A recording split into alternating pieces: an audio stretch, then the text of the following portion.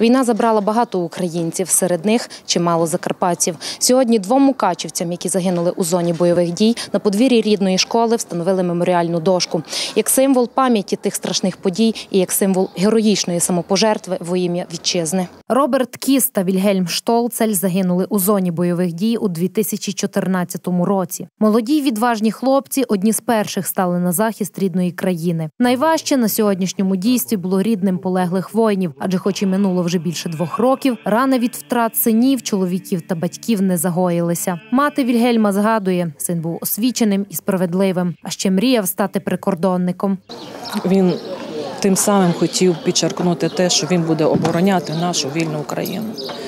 Він не міг спокійно дивитися на те, що ворог російський захватив нашу країну. Він не міг бути вдома.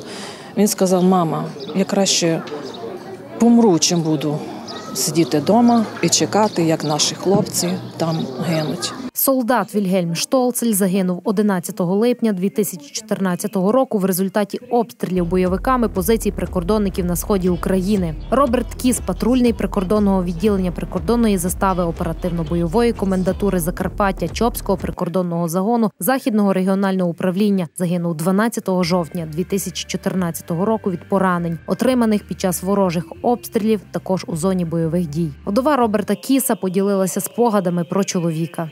Він завжди проживав кожен день, такий ніби востаннє. Він завжди посміхався. На його ну, обличчі ніколи не було смутку, печалі або якоїсь болі.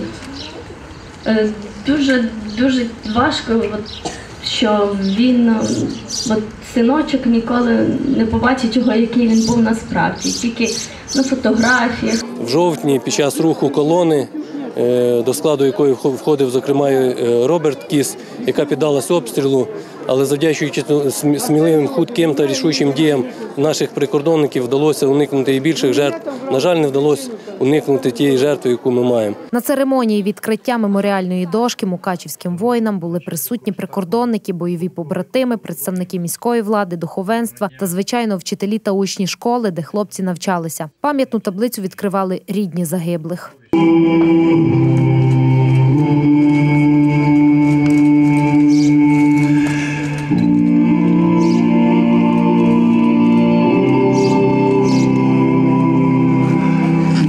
слова, обидва хлопці цими днями мали святкувати свої дні народження. Вільгельм Штолцель 25 травня, а Роберт Кіс 20-го.